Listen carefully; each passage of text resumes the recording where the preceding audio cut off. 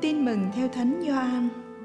Thật, tôi bảo thật các ông, ai tuân giữ lời tôi thì sẽ không bao giờ phải chết. Người Do Thái liền nói: Bây giờ, chúng tôi biết chắc là ông bị quỷ ám. Ông Abraham đã chết, các ngôn sứ cũng vậy.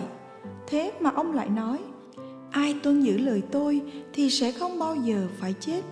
Chẳng lẽ ông lại cao trọng hơn cha chúng tôi là ông Abraham sao? người đã chết, các ngôn sứ cũng đã chết. Ông tự coi mình là ai? Đức giêsu đáp, nếu tôi tôn vinh chính mình, vinh quang của tôi chẳng là gì cả. Đấng tôi tôn vinh, tôi chính là cha tôi. Đấng mà các ông gọi là thiên chúa của các ông các ông không biết người. Còn tôi tôi biết người nếu tôi nói là tôi không biết người, thì tôi cũng là kẻ nói dối như các ông. Nhưng tôi biết người và giữ lời người. Ông abraham là cha các ông, đã hớn hở vui mừng vì hy vọng được thấy ngày của tôi. Ông đã thấy và đã mừng rỡ. Người do thái nói, ông chưa được 50 tuổi mà đã thấy ông abraham.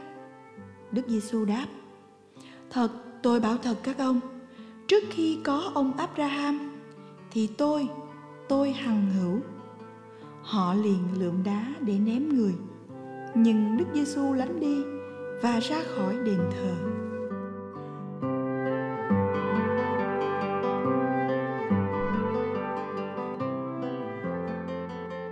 Đừng loại trừ thiên chúa khỏi cuộc sống trong giao ước được ký kết danh đức chúa đứng ở vị trí trung tâm và để có được lời hứa dòng dõi đông đảo chính Abraham và con cháu ông phải nhìn nhận danh Đức Giêsu là Chúa của mình. Danh ấy đã trở nên hữu hình nơi Đức Giêsu khi người nói: "Tôi hằng hữu." Vậy nếu những người Do Thái làm những việc của Abraham, họ sẽ nhận biết Đức Giêsu là đấng cha sai đến và tin vào người.